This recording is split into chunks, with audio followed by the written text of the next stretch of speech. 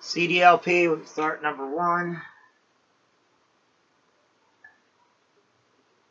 Alright, CDLP start number one.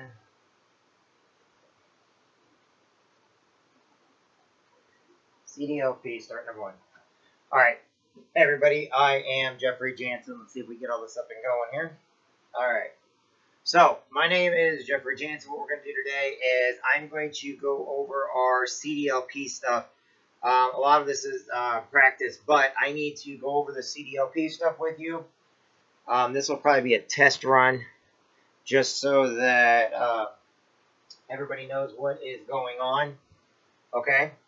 Uh, so anyway, we are doing the basic commercial driving. And right now this is test one. And I'm hoping everybody can see me and they can see this.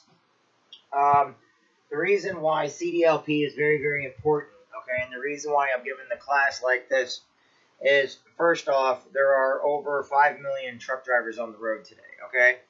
And right now, only about 15,000 of them are covered, and we have the majority of them. Uh, there are a few other driving plans out there that are not with our company. However, number one, you got to understand that we are in 49 states and four provinces of Canada.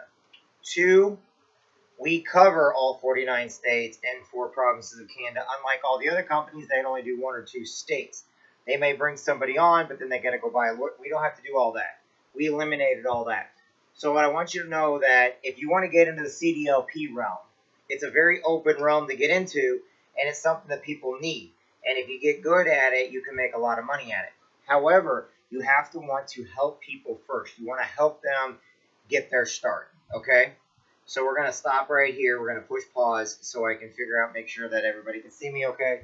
Because when we get into the whiteboards, I want to make this just a test right now.